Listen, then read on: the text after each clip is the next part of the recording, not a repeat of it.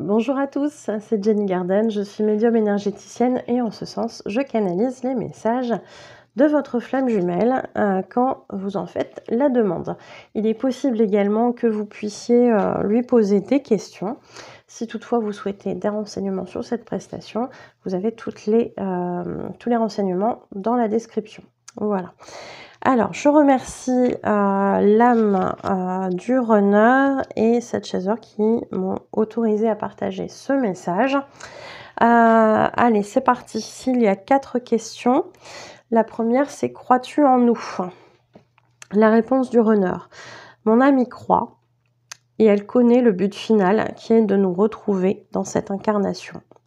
Mais mon ego a encore du mal à l'intégrer pleinement. Pour le moment, il perçoit plutôt les peurs et les envies de fuir prennent le dessus. Ce qui est normal en début de parcours.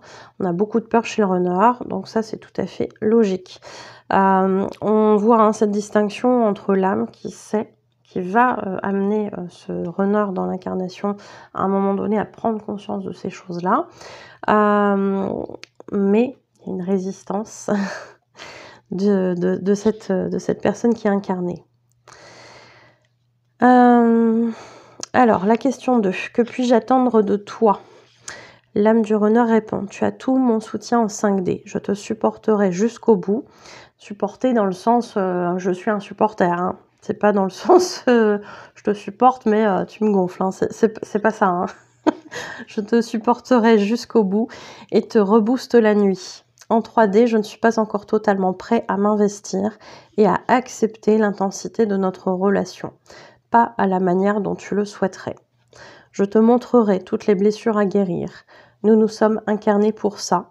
Je sais que ce n'est pas la réponse que tu attendais, mais c'est pour notre bien futur, car sans cette étape de guérison, nous ne pourrons pas vivre pleinement notre amour. Bon, ici, je pense que c'est clair. On a euh, le soutien du runner en 5D, ce qui est l'inverse de ce qui va se passer quand le runner va revenir vers son chaser dans la 3D. Là, le chaser pourra l'aider dans la matière. Voilà. Mais le runner, il aide son chaser en énergétique. Euh, donc effectivement, il l'informe qu'il la rebooste la nuit. Donc euh, voilà pour, euh, pour qu'elle puisse faire son travail hein, dans, dans, la matière, notamment son travail de guérison. Ce qui est important, notamment sur les parcours, hein, c'est qu'effectivement le, le commence le travail euh, et le, runner le termine. Euh, donc là, effectivement, dans la 3D, c'est pas encore euh, possible pour lui euh, d'amener cette relation que la chaser souhaiterait. Euh, il y a encore beaucoup de choses à guérir. Et effectivement, ce rôle, c'est de montrer tout ce que la chaser va avoir à guérir. Et ça, il va le faire de manière différente, avec des mots, avec des actes, euh, etc., qui vont pas forcément toujours plaire euh, à la chaser parce qu'elle attend autre chose. je parle en général. Hein, et, ça, bah, c'est le boulot du runner. C'est de montrer tout ce qu'il y a à guérir, mais rassurez-vous, hein, le chaser, il fait pareil avec son runner. Hein. Euh, dans la troisième question, pourquoi tu ne parles pas de nous? Le runner répond, parce que je n'en ai pas envie, tout simplement. Un côté de moi n'est pas sûr de ce que nous vivons. Et si je te perds, alors je perdrai aussi la face devant mes amis. On le voit encore, hein, ce regard des autres qui est très important pour les runners. Hein.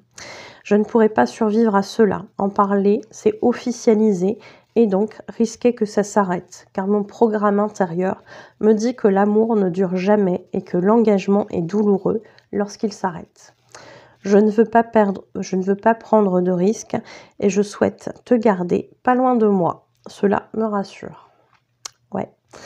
Donc, euh, effectivement, ce runner ne parle pas de, de, cette chaser, de leur relation, parce que, effectivement, dans, le, mécanisme intérieur euh, du runner, c'est douloureux euh, de s'engager parce que forcément, à un moment donné, ça va foirer. C'est obligatoire, c'est un programme intérieur, c'est ça.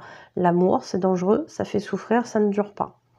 Donc si ça ne dure pas, je ne vais pas tenter quoi que ce soit, surtout avec ma chaser, avec qui c'est très intense, euh, beaucoup plus intense que les relations que j'ai connues avant.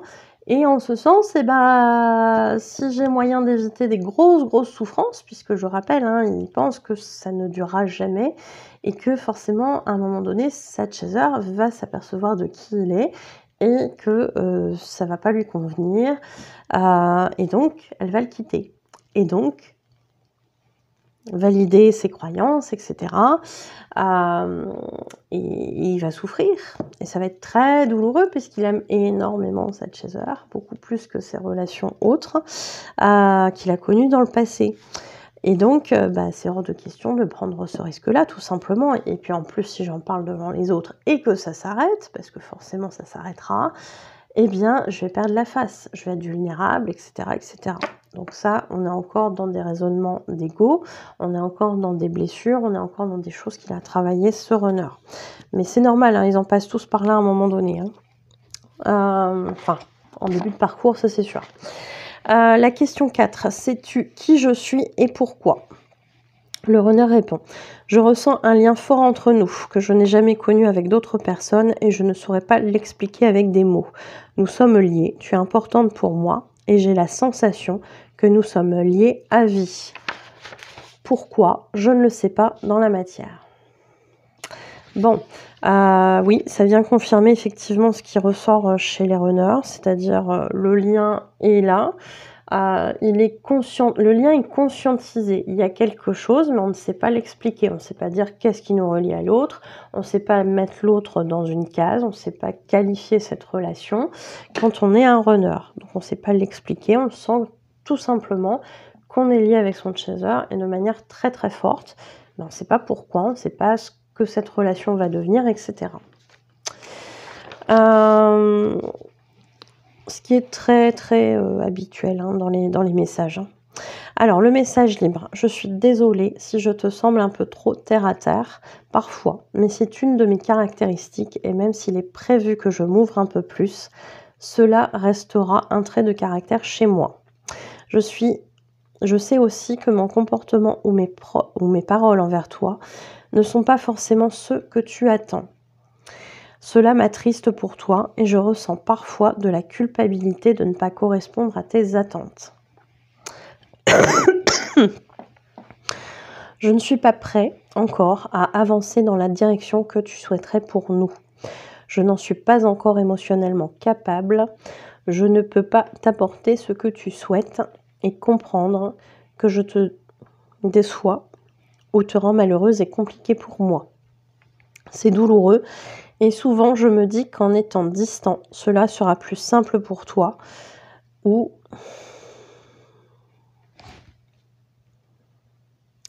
euh, alors attendez, j'arrive pas à me relire. Ou au sens où cela te retirera des attentes.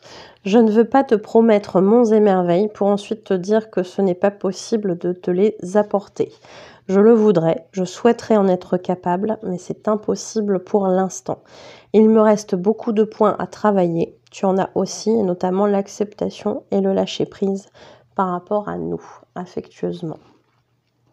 Donc ici, on a un message euh, euh, très, très fort au sens où effectivement, hein, on, sent que euh, ce runner, il aurait envie de pouvoir amener ça, et c'est souvent le cas souvent, euh, c'est souvent c'est des envies mutuelles, mais euh, ces blocages-là, ils sont tellement forts que on ne peut pas tout de suite les dépasser. Il y a besoin de vivre certaines choses, il y a besoin de comprendre, il y a besoin de guérir. Euh, et ce ces, choses-là vont se faire naturellement par la suite. effectivement, même si le runner sait cette relation, que cette relation elle est importante, souvent il a aussi parfois cette sensation que l'autre est la personne de sa vie, mais il a tellement mis de trucs par-dessus pour pas le voir parce que c'est, c'est pas accessible là tout de suite et donc c'est douloureux aussi pour lui, euh, que il va euh, comme l'occulter ce lien. Euh, et c'est encore une fois une stratégie de, survie. Hein. C'est tellement douloureux et chez l'un et chez l'autre que du coup bah, il sait, il sait que cette direction-là, elle va être possible à un moment donné, mais pour l'instant, c'est pas le cas. Et tant que c'est pas le cas, euh, bah, comment on fait? Comment on fait?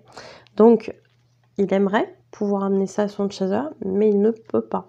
Il ne peut pas, il le sait et il ne sait pas dans combien de temps ça va être accessible. Donc euh, oui, il y a de la culpabilité, de faire souffrir, de de de, pas amener en fait ce que cette chaser attend. Et ça, c'est souvent des choses qui, reviennent. Hein. Euh, et en fait, ici dans la démarche, c'est plutôt sain parce que après, ça manque de communication dans la matière. Hein. On va pas, on va pas se mentir. Hein. C'est souvent ça qui pêche aussi. Euh, mais la démarche, elle est saine. C'est-à-dire, je ne veux pas te, promettre des monts et, merveilles pour après te dire, bah non, finalement, je le sens pas, le truc, là, ça va pas être possible, je suis pas prêt. Euh. je sais pas, peut-être que je serai prêt que dans six mois, peut-être que je serai prêt que dans dix ans. Euh, bah, je veux pas, en fait, que tu sois dans l'attente. Et, ça paraît plutôt sain de ne pas vouloir mettre l'autre dans une attente. Euh, et effectivement, si c'est exprimé dans la matière, le chaser pourrait comprendre ça. Mais souvent, il n'y a, pas, a pas de communication. C'est là où c'est important aussi finalement d'avoir ce retour de l'âme qui vient expliquer euh, parce que l'âme, elle sait, hein, l'âme, elle est connectée, elle sait très bien que vous êtes en parcours, euh, et dans ce sens, elle vous amène des explications sur ce qui se passe dans la matière. Ces choses-là qui ne sont pas expliquées finalement par votre honneur dans la matière, bah, finalement trouvent un sens ici dans les messages. Euh, même si ça reste souffrant, hein, on est, on est d'accord par rapport à la situation, mais en tout cas, on a une démarche ici de ne pas faire souffrir en mettant l'autre dans une attente. Euh, tout ça pendant que le travail se fait chez l'un et chez l'autre. Donc c'est hyper important de, l'entendre, de le comprendre euh, et que c'est pas forcément facile malgré ce que le chaser croit. C'est pas facile pour le runner d'être dans ce positionnement-là euh, vis-à-vis de son chaser. Et souvent, le runner essaie de dégoûter son chaser parce qu'il n'a pas cette force de, de couper. en tout cas, à un certain stade. Et, euh, et en agissant de manière euh, un petit peu sournoise quelque part, en essayant de, de faire que ce soit l'autre qui coupe, ça le soulage par rapport à sa propre responsabilité. Euh, oui, ça le soulage d'un poids en fait. C'est comment je fais pour ne pas faire souffrir l'autre en lui disant que là, en fait, il faudrait qu'on arrête parce qu'on se fait du mal mutuellement et je supporte pas ça. Euh, euh, et il y a cette idée de, bah, en fait, si j'ai des comportements pas, super cool, bah, c'est la personne qui va arrêter et ça sera mieux. Alors, ça sera mieux pour cette personne. C'est ce que pense le runner, ce qui n'est pas tout à fait le cas du côté du chaser, on est, on est d'accord. Et finalement, c'est pas si, c'est pas assez souffrant aussi pour le runner hein, qui, va, qui subir cet arrêt. donc finalement, c'est une solution euh, temporaire qui, n'amène pas forcément des choses positives à l'un et à l'autre, mais ça le mérite au moins de les faire travailler. Bon, tout est juste impératif sur ce parcours, donc euh, ça fait avancer d'une certaine façon. Et la, séparation, c'est un des moments où on travaille le plus sur soi. Hein. Donc euh, ça devient nécessaire à un moment donné. Voilà, voilà. J'espère que ça vous aura aidé.